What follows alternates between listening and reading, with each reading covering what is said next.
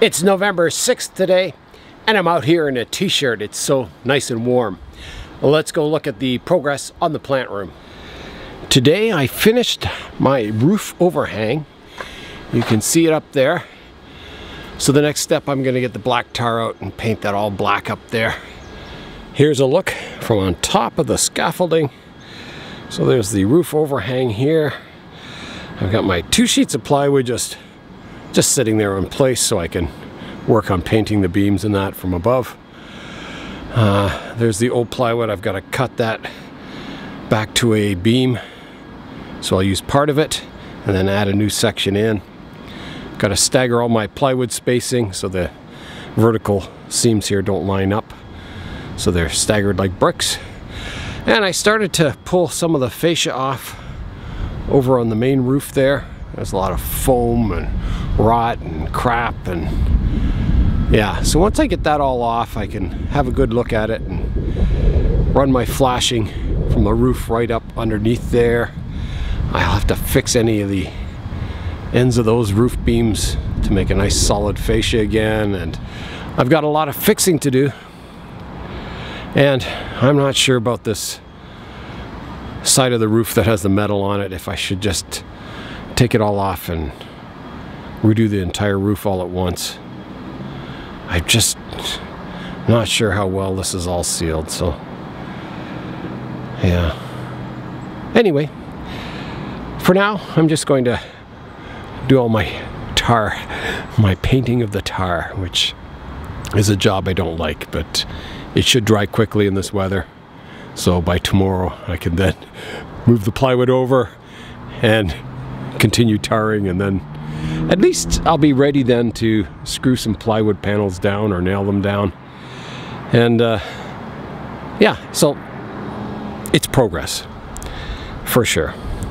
And it's a beautiful day. So I've been uh, really lucky with this weather. I moved the tarp too. Uh, I took all the my temporary roof off. I've got the tarp is laying down in the plant room there. So yeah, that was another thing I did today. So I've been busy. A lot of up and down the scaffolding, ladders. Yeah, pretty tiring work, but uh, I sleep well every night. I go to bed, I'm uh, really sore. I come in from doing the work when the sun starts setting and I don't even really go on YouTube anymore. I just am so tired at night that I eat and then I basically, maybe I have time to watch one or two bonsai videos. I don't get time to get to my comments or anything. And then I go to bed. And then I always wake up the next morning refreshed. A little tired and sore. It takes a while to get going, but uh, but yeah, that's been my life for since the midsummer. Just tiring myself out every day, waking up and doing it all again but it's it's going well. I'm enjoying it, working outdoors here. I'd rather be doing bonsai videos and running the bonsai channel, but uh, you know, this is getting done. We'll get it done and then life will be back to normal once again someday. And then I'll have to start building that larger greenhouse back there too. So yeah, the work never ends. I'm wondering if I should drive the truck now and go get the plywood for the roof. And I need some uh, drip starters or drip edging, all that kind of stuff. I should I should take a trip to Home Hardware and get all my supplies. Drive the truck in a beautiful nice day. It is the next day and it is the most beautiful day today. It's sunny, it's warm t-shirt weather. So last night I finished the day. I went to the hardware store and got three sheets of plywood in the truck and I got the flashing, the drip edge that goes along the edge of the roofing. So here's two of my pieces of plywood here. Half inch thick or 12 millimeters. And I did a lot of tarring up here. I'll go up and show you that. Here's my extension, my roof extension. I finished that all up. Got it all nicely nailed together, nice and secure. I have a lot of plywood panels up here. I'm uh, this is a new one I just got, so I put the black tar on it, and then I'll flip that over upside down. Uh, so that'll that'll help seal it because that'll be the cold side of the roof, and if I get any condensation, at least it won't soak into the wood and start rotting it away. So, yeah. So I'm going to do all the panels like that, all the plywood panels. I've tarred up all the beams as far as I could reach. I may have to touch up some. And so I'm going to start putting the plywood up today. I'll start on this bottom edge here and work my way up. And when I have it close to the old soffit and fascia there, I can tear that all apart and fix it and replace it. And then I'll do the final bit of roofing at the top there. And you can see the fascia over here is just thin plywood. So that all has to be taken apart eventually because I want it nice and solid because I want to put eaves troughs along this side of the building and down here to catch this. So, so just the one eaves trough down here isn't doing all the work. It, in a heavy rain, it just gets overwhelmed. You can't get enough water flowing down one eaves trough, so the two will help. And then I'll channel it all down to rain barrels down below here. So that is the plan. So I've got beautiful weather today. It's just fantastic. There's no bugs out. It's uh, there's no leaves to fall on my tar here. All the leaves are off the tree. And it's just perfect weather. If anything, I'll be too hot, so that's good. I've got to mix up my tar. You can see the tar down there, which is in the big tub. And then on my little tub that I mix it in, half tar and half Varsol, so paint thinners. And that makes a good mixture for painting on the roof. It dries in the sun here. This will be kind of tacky dry in maybe an hour, maybe two hours. So every time I walk by the truck, I look in the back seat and there's all those parts to go on. But it's gotta wait. Gotta wait. Patience. It's getting towards the end of the day. I've still got a. how much time do I have left? Uh, probably an hour, two hours maybe. Here's what I've been working on. I've got my first roof panel all fitted up and it's screwed down and then uh, once everything's in place I'll nail everything down just in case I have to move it or something. I've got this panel I had to cut out a triangle section out of there to make it square. So I've done that and then I fitted this L-shaped panel. It's flipped over because I'm going to tar the undersides of these now. So that fits in over there. And this one fits up over here. And then I'll have a little bit of overhang to cut off a sheet to fit there. And then it'll be plywood all except the end here. So I've got to do all that fascia fix all that up before I uh, fit the plywood right up in there. That gives me room to work in there. So yeah this is uh, coming along really nicely.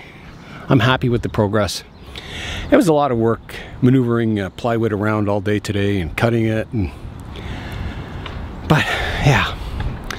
It's coming along nicely. It's nice to be able to stand and lie down on your very own roof. I had an ice cream cone up here today just sitting here on my roof in the nice sunshine. It's the next day now. It's a beautiful morning once again.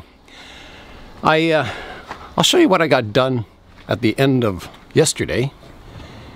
Here's what I got done yesterday. I got my two panels all tarred up, all the edges and everything. It takes quite a while to paint both the top of the panel, or which is actually the bottom, and around all the edges to get it all soaked in so it uh, seals all the edges against moisture. So the tops of them are still just the wood color, and I'll leave it the wood color until the roof is all done and if I have to scribe lines for shingles or laying out panels or something on top, I'll leave the wood. And then when it's all laid out, then I can paint the tar on the top. All my tropical trees are still outside. They've been out for, I think, three or four days now.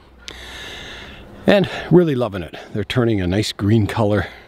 They look really healthy, getting sunshine every day. And uh, We're going to the orchard this morning. That's the first job for today.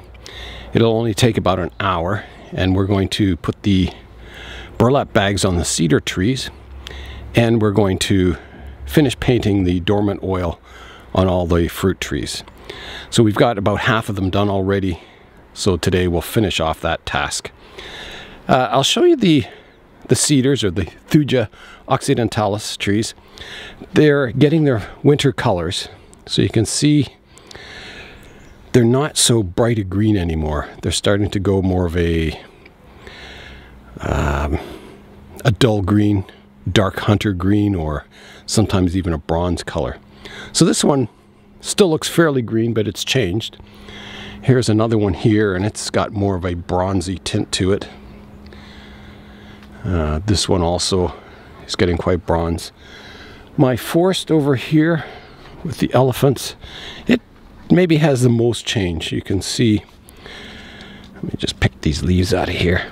You can see it's kind of, it's almost an olive green color and it has that kind of bronzy color to it too. So that's their winter colors. That shows that they've gone dormant. So we're going to put that burlap on the cedar trees out in the orchard today because they should be dormant too. They, uh, it's late enough in the year that you can wrap them up. This warm weather is very unusual for this time of year. The larch forest is continuing to change color. The deep kind of yellow colors are going to more of a straw color now. I see there's been squirrels picking away at my landscape or birds. I think they're birds. I think I saw some blue jays here.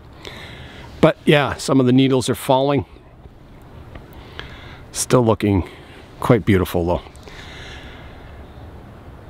Yeah, it's amazing the uh, seasonal changes of bonsai. It's t-shirt weather once again today. So let's head over to the community orchard and start today's work here in the bonsai zone.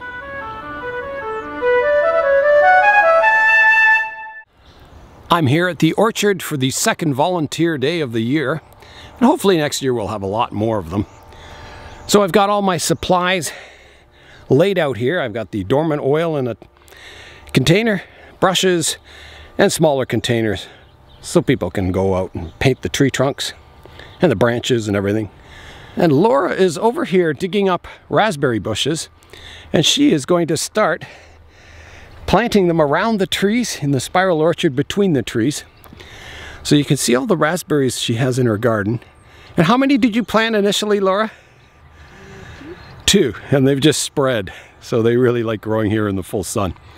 So that'll be nice to get the understory planting started out in the spiral orchard. This is our garden plot where we start our small trees from seeds or whatever sources we can get. And last week, we were out here, I pruned all our plum cherry trees down to a single leader.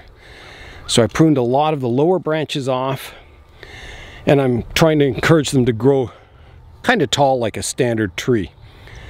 So it took a lot of ruthless pruning. They were quite bushy down here. So a lot of pruning, but now they, they're starting to look like uh, more of an orchard type tree.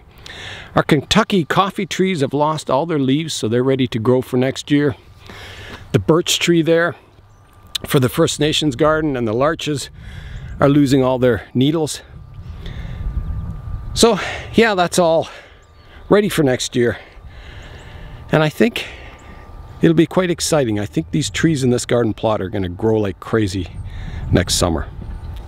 You can see the whole community gardens has gone from a sea of green plants to kind of the winter look, which is just beds of soil and a few remaining hardy vegetables growing.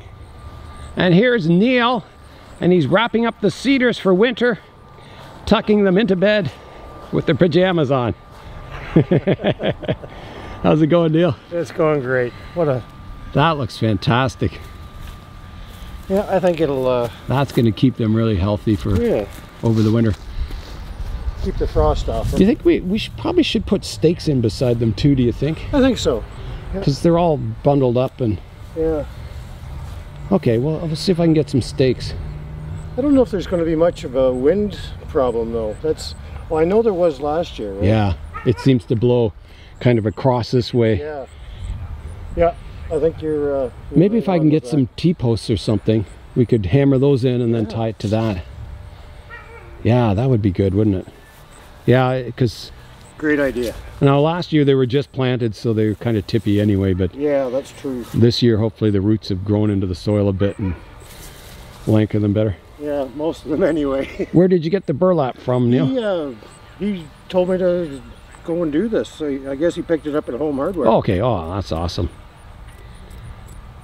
Hopefully we have enough. Oh, he's What? got three rolls there. Oh yeah. Well, that's awesome. That's fantastic. Thanks, Neil. Yeah. Thank you. It's looking really good. Here's all the volunteers working away out in the orchard, painting the dormant oil on the trees, working their way around the spiral. Get notes. So this is Mark here. And Hello. hello, Mark. I know Mark from the KW Bonsai Society. And uh, he's painting the dormant oil on the trees. And the leaves haven't quite fallen off, but we're just kind of painting around them. And You know, it a lot of them are falling off as we go because they're, Yeah. they're still really, really loose. And if it gets on the leaves, it doesn't really matter too much because uh, they're going to fall off soon anyway. Oh, now, I'm not looking sure if really this is exactly the right way to do it, but I'm trying to make sure I get into any of the uh, the buds and the end. Crevices and that, yeah. And uh, Just think where where would the insects lay their eggs? That looks good. That looks or really hide good. for winter. Yeah, exactly. And here's the raspberries down here that are getting planted between the trees. Amazing. Over here you can see the raspberries that are already planted. You know, at least I can say I tried that. That It's looking really I've good. been thinking about for years, ever since learning. That'll help define the spiral. Hopefully they'll multiply and we'll get this nice kind of hedge labyrinth around here. Be really cool. This is Monica. She was out helping last week. Hi Monica. Hi. How's the painting going? Good. Oh, that's awesome. Denture or Uh, we're starting the dormant oil on the outside and working our way in. And the raspberries are starting in the center and working their way out. So that will, okay. So we're social distancing. That's a great idea. Okay. Uh, I didn't bring my gloves. Ray will be back and he'll have Okay. equipment because we're going to plant garlic today. Oh, good. Uh, Someone else's the lady over there is planting garlic. Yeah. Uh, so what we're doing is we're taking the spiral wraps off. Okay. We're leaving them off. That tells you that the tree has been done with the dormant oil. And then, then at the end of the day, we'll put all the spiral wraps back on. Okay. Now, what do we do about, like, yeah, leaves? I was going to ask because I see Just some of our guys there. pretend they're not there, paint around them. Just go for it. Okay. Yeah, it won't hurt them. They're almost ready to fall off anyway. Yeah. So, Okay. Well, I'll start with the oil then. okay. Thanks, think Shelley. We're going to have a little bit to go. Yeah. All the work is completed for today in the orchard. The cedar trees all have their burlap wraps on them. So next week we're going to stake them so they're not blowing over in the harsh winter wind. And I'll show you out in the orchard. Here's the spiral orchard now. So you can see it's defined a little more with these uh, raspberries planted here. It's going to be fantastic in the future as all this area fills out. You know, we'll have the trees, the raspberries. It'll be a real labyrinth kind of feeling to it all. So just fantastic. Really happy with the progress today. Getting all the trees painted with their dormant oil, the cedars wrapped, and the understory planting in the spiral orchard. A good day's work by all us people and volunteers. So now it's back home where I'll start working on the roof again. It's getting towards the end of the day today, and it was a short day of working on the plant room because we were in the orchard today. So here's a look inside. There's the top of the roof. So everything's covered except for that one section near the wall. There's the inside of the room. It's all tarred up on the underside. I still have a few beams to touch up, but uh, that can be done anytime.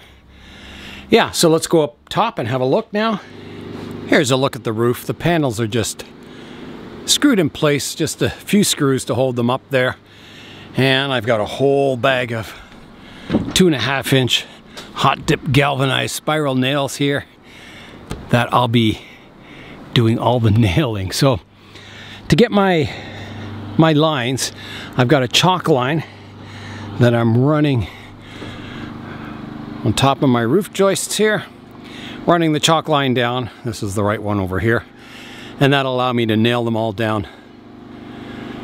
So it'll secure them all in place, never to come off again, I hope. Yeah, so that's what I'll be doing for the rest of the day is lots and lots of nailing. Once again, it's just a fantastic day today. T-shirt weather in November. Unbelievable. All my tropicals are still outside and they'll be outside for at least two more days, maybe even three. I think with all this good weather, I'm getting a little sunburnt too, but uh, I'm trying to stay out of the sun, but yeah, it's just impossible up on our roof. Last night, I went to bed at 7 o'clock, 7 p.m. I was so tired and I slept through right till 7 p.m. in the morning of the next day. So I got 12 hours sleep. Ah, I was so tired, but I feel really good today. I feel really good today after all that sleep, so it did me good. Another day is about to start and it looks like a beautiful morning once again. I left off yesterday by nailing down the roof and it's coming along really nicely. I just have a few rows at the very end left to do and then I can start on working on the soffit up here. I was kind of worried about putting roof vents on the roof up there. I thought, oh, I don't really want to cut into my roof. So I thought what I'm going to do, I was going to have that dead space, sort of a mini attic at the peak of the room on the inside. I'll put a kind of like a false ceiling there. And I'm going to put a gable vent on the very end here. So it'll vent. There'll be a, a screened in vent underneath the overhang there that'll vent out that attic section to the outside air. So I think that'll keep it all nice and waterproof so I don't have to cut holes in my roof up there for vents. So yeah, I'll be doing that eventually and putting the venting underneath the uh, the soffit there too. So the air goes in along the top of the roof and then vents out my gable vent here. Here's the bonsai area early in the morning. It's about, well, it's almost 7 o'clock now, I guess. So what I do, I keep all my, all the tropicals I can fit in the greenhouse, which is heated overnight. It keeps them really nice. And then in the daytime, when it starts to warm up, usually around 10 o'clock in the morning, I bring them outside onto the benches. And then at nighttime, I put them back in the greenhouse. And that keeps them growing and happy and yeah, they seem to do really well with that routine. And it doesn't take long to put them away. I think there's about maybe six trees that I take out and put back in every day. And then when the temperatures start, you know, dropping in the daytime, I'll just leave them in the greenhouse. I won't be bringing them out onto the benches. The color on the larch forest changes every day it's kind of getting more of the uh, orangey straw color. Still very, very beautiful though. Love it. You can see there's more and more needles drop onto the forest floor every day too. I was kind of worried about this fern because this fern just started growing in a pot in one of my tropical trees indoors and I wasn't sure how hardy it was. So I've left it outside and it's seen minus three degrees, so three degrees below zero or freezing. And uh, so far it looks fine, it looks untouched. So it must be a fairly hardy fern because there's no damage from the cold weather so far. My bald cypress here, it's starting to get fall colors. If you look down here, you can see the reds and the oranges. The tips are still green, but uh, definitely getting its fall colors. It grew really well this year. It'll get pruned back this winter once it's dormant and we'll get it ready for growing once again next year.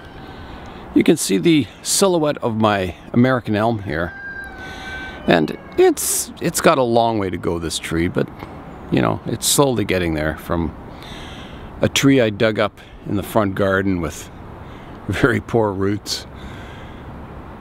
It's slowly coming along. It's looking more tree-like and more elm-like. My small leaf linden has just about lost all its leaves. Yeah, they're just falling off as soon as you touch them. So that'll be bare soon for the winter. It had nice fall colors. It flowered this year. Yeah, it was a really uh, nice tree to have. It has a long, long way to go. I'm trying to thicken up this one side of it to make sort of a more of a normal looking tree, I guess. Keeping this cascading part of it as a first branch or a kind of multi-trunk tree.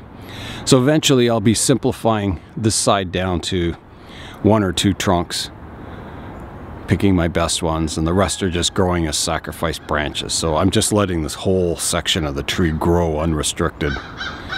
And then once it gets up to a decent size down here, then I'll start the pruning process. My Manitoba maples, or box elder maples, have lost all their leaves and they remind me of a, really ancient old tree, like maybe some of the old oaks that you see in England or that. And yeah, I think they have a lot of age age in them and they are fairly old. So that'll be fun refining these into the future. Seeing what I can make out of these box elder maples. I'm back up here on the roof and I've decided that I am going to take off the rest of this metal part of the roof here and fix the uh, fascia up there to mount an eaves trough. I, uh, I initially thought I'd put a metal roof on here because I thought the snow would slide off more easily. And it, that wasn't the case. With this low slope roof, it didn't make any difference. And what did make a difference is I would go up in winter to clear the snow off, and I was scared to death on the metal roof because if you get any ice or wetness, it becomes really slippery and dangerous. So I didn't go up on the metal roof at all. You could just feel with your hand how slippery it was. So that's one reason I've decided not to go with a metal roof anymore because I can't get up here to clean it in winter. And uh, yeah, it just gets, it's too scary. So I'll stick with a more of a traditional asphalt roof, maybe just the uh, big panels like they use on flat roofs, sort of a textured, uh, you know, tar paper type thing. Uh, what do they call it? Roofing felt or something like that. Really heavy duty. Sort of like they use for the water and ice shield, which I'll be putting on the front part anyway. So I think that's what's on it over here and it's a really good grippy surface and seals really well. So that's the finish I'm going to put on the roof. I'm not going to put the steel on.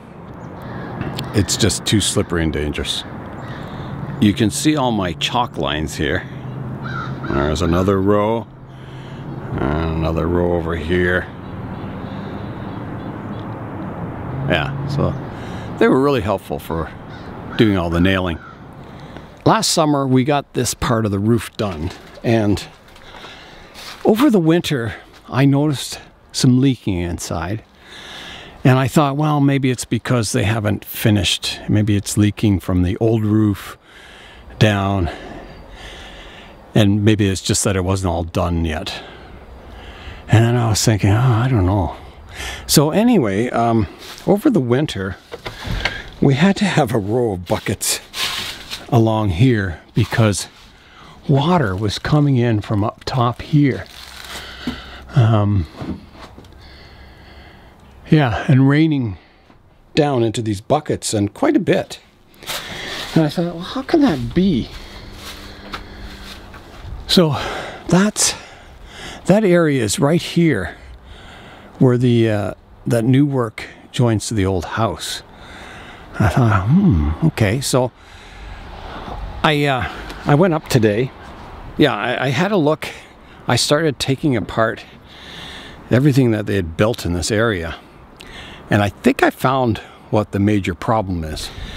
So over here, all the roofing material, which is good material, they ran it to this edge and then kind of overlapped it up on this box section here. Some of it, and some of it just ran out to the edge and ended.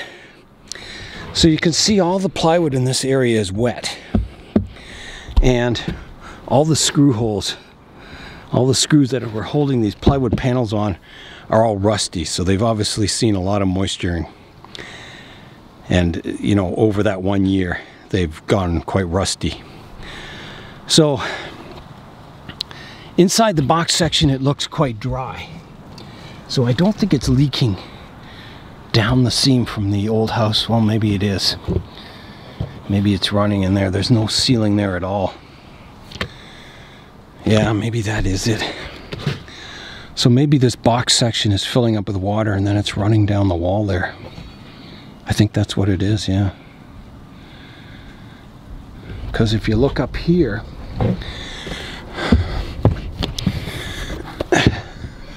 there's a big hole. I can fit my hand in here. So any water would pool, run down that hole, down here, and down and leak down that wall. So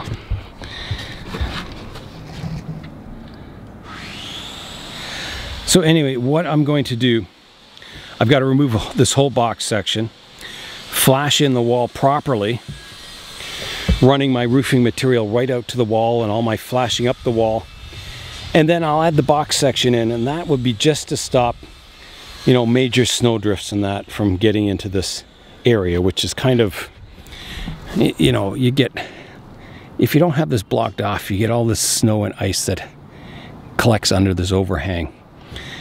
And which isn't good. So I think you know if I box this section off it'll just be all the roofing and the ceiling will be done underneath and this is just like a cover that'll be in place just to stop snow drifting underneath there because it, it kind of melts when it hits that warm wall and then you get problems with it running down the, the seams. So yeah, that's my plan.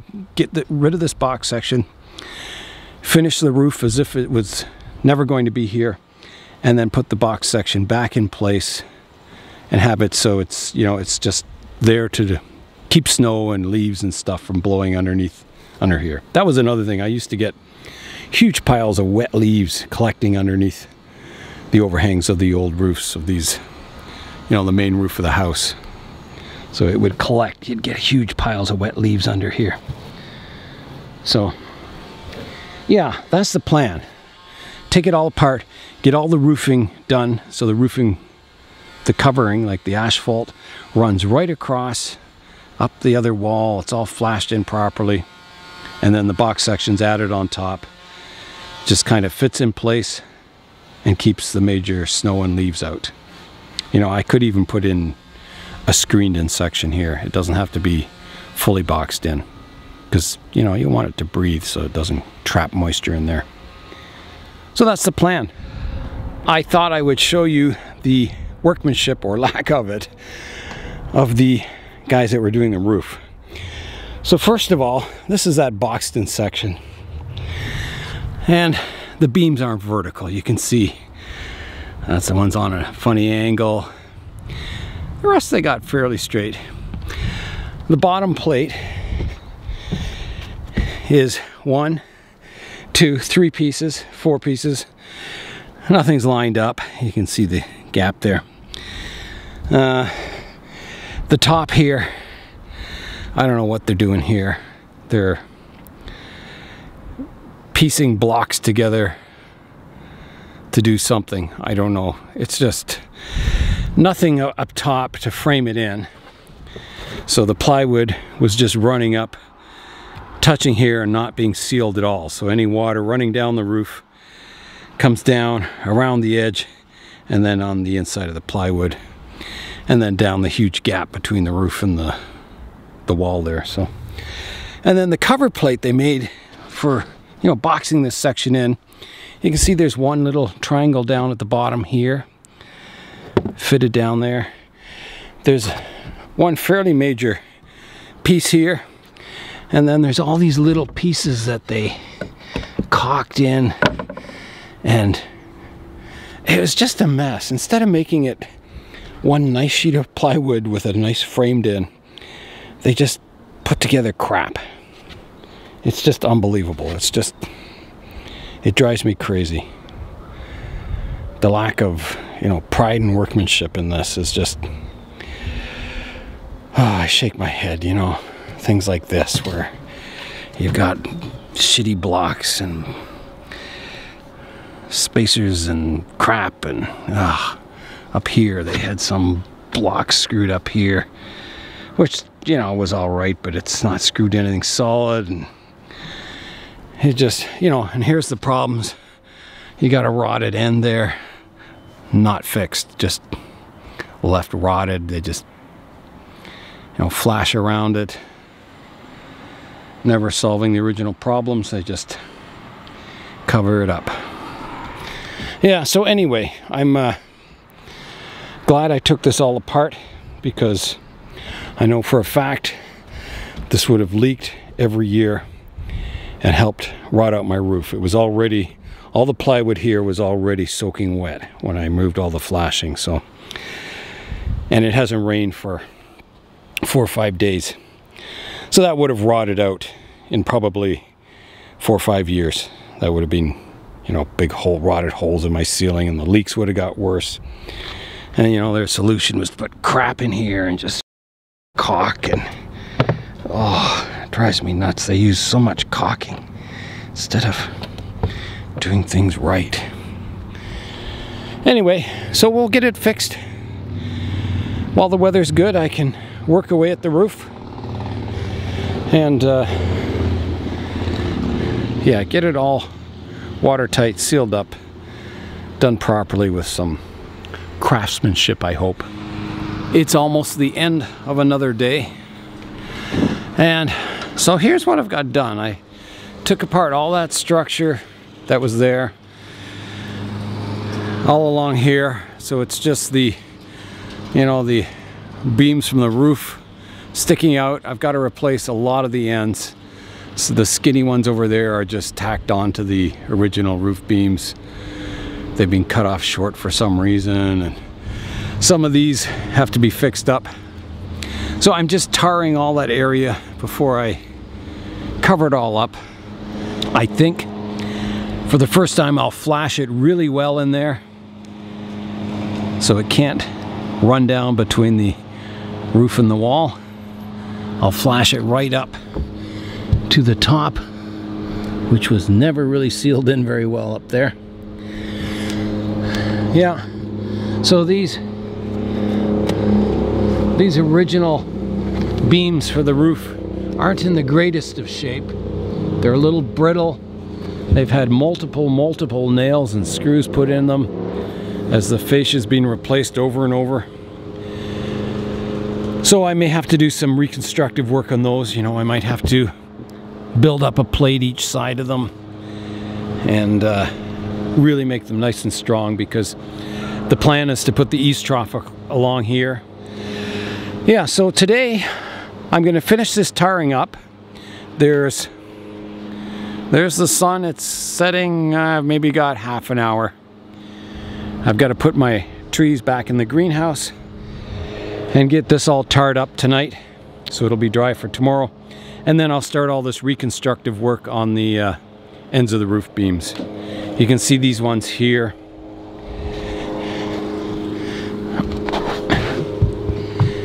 The original roof beam is here and it's just been cut off for some reason and these thin little pieces added on the end. So yeah, we'll get that fixed up.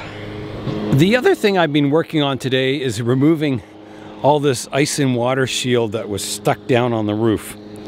I thought while the temperature's warm today, it'll be the easiest to peel it off. And it, it's been going fairly well. I still have some down there and this patch up here, but uh, I've got most of it off. And it's hard work. It's hard. You have to get an edge going and then you pull and pull. But it's getting there. And that way it'll be a nice surface, a nice flat surface to put all the new roofing on. so it won't get all, you know, won't be bumpy these transitions, and I might have a chance of water getting under there. Who knows? Probably not, but uh, it'll just make a nice flat surface for the new roof to go on. It is another day, and uh, this is the last of the warm days. It's uh, going to be 21 degrees Celsius today, which is really, really nice. And then uh, it's supposed to rain tonight and then cool down a high of, I think, 10 tomorrow. So here's a look inside the room. And you can see the gaps. You're supposed to leave an eighth inch gap between all the plywood panels. That allows for expansion and contraction with the changing temperatures. So here's the roof. I've got a lot of the work done on it. Uh, let's go up and I'll show you what's going on up top here. So here's a look at the roof now. You can see it's all ready to put the black tar on. So I want to get this layer of tar on the roof while it's warm out, sunny, and there's no rain. So that's what I'm going to do next is get this all tarred up. It is another day today. Uh, last night we got rain, so you can see I have the the tarp on the roof. I'll show you that from above. I had to use two tarps. There's a look at the tarps on the roof. So the, the silver one almost fit to the end, but not quite, so I had to put a second up. That kept the rain out of the room. Um, I did get all my my roof, my sheeting, all tarred up black. So when I get the tarps off, I'll show you that. I didn't get time to film it last night because I had to get the tarps up and yeah, get ready for the rain. So today started out warm. It's supposed to cool down during the day and we're going to get into the cool weather coming. Still nice, but cooler. So this might be, you know, my last week to work on the roof, so I got to get it all finished this week for sure. All the trees on the outside benches just got a good watering last night.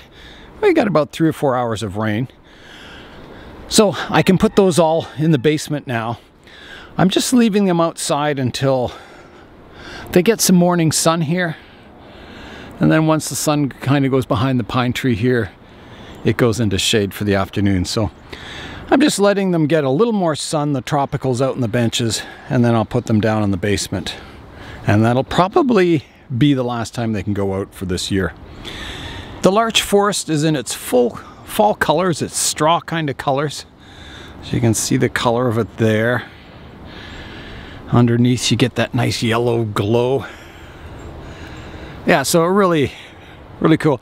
And you can see if I touch it, the needles, they start falling off. So I would say in another, you know, three or four days, this trees, these trees will be bare. They'll be, I've lost all their needles. My tropical trees in the greenhouse are just doing fantastic. They're just thriving in there. So that's good to see. They'll stay out here in the greenhouse until the weather starts getting kind of below well below freezing. I'll put that insulated tarp on the greenhouse and we'll try and keep them out, well, until I get the plant room done.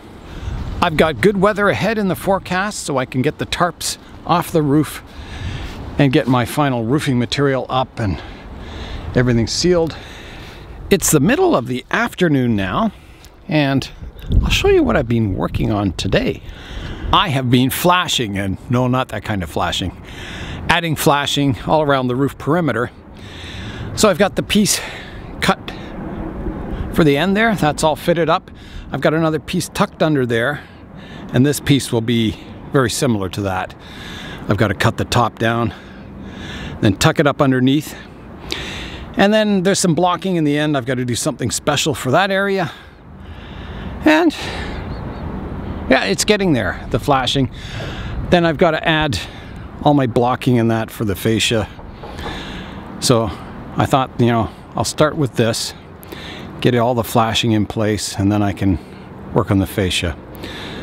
And the, uh, the soffit just won't be there. There's just not enough room for it. So I'll just have to run the fascia right down to the roofing. So I'll want to get all my roofing in place before I fit that fascia board up. and I'll have to make all kinds of reinforcements and stuff. So, yeah, a lot of work to go doing all this kind of work.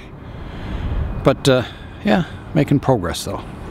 The temperature's been getting colder and colder throughout the day, and I've been getting more and more clothes on as the day goes on. Um, so, yeah, tonight all the uh, tropical trees that are out on the benches will have to go back down into the basement. And I've just, I don't know, I'll have to start that soon. The sun's starting to get low on the horizon there. So all these trees will be fine inside the greenhouse tonight. But uh, I definitely have to move all the tropicals, which are over here. I've got, you know, I've got my asparagus fern, my yucca forest, my acacia trees. Yeah, lots of, all my citrus ones. Yeah, so that'll keep me busy. It'll probably take me, as I said before, it usually takes me about an hour and a half to get them all back in the basement. I just that they're so hard to fit. So that's what I'll be doing. I'll be finishing that flashing and then uh, moving all my trees inside. The skies are darkening. It's almost the end of the day. So I'll show you in the basement. I got all my trees tucked away. This will probably be the last time they go out until spring. Uh, I don't expect the weather to get any warmer. Uh, we had, I think it was four record days in a row of high temperatures, finishing off yesterday with a high of 21 degrees Celsius, which is pretty well summer weather. It was amazing. Um, but today it's dropping down to uh, just above freezing tonight. So all the trees are in, safe and sound. And yeah, that'll be it, I think, for the year. So the next stage for these trees will be to move them up to the plant room when that's done. And I'll show you the progress on the plant room. Here's the top of the roof. And you can see I've got all the flashing is roughed in place. I haven't uh, attached it yet, but it's all cut and fitted. So it's looking pretty good. Got a few details to go on it still, but uh, I'm getting closer to being able to put my roofing material down. I'm going to put the drip edges all the way around the, uh, the roof. And then I think I'm ready to put the roofing material on, which might be that, you know, long strips of that uh, ice and water shield. Just overlapping it and building it up to the top of the roof there. So yeah, getting getting closer to having a, a finished roof. That brings us to the end of the video, this week's update. I'm Nigel Saunders. Thanks for joining me in the Bonsai Zone.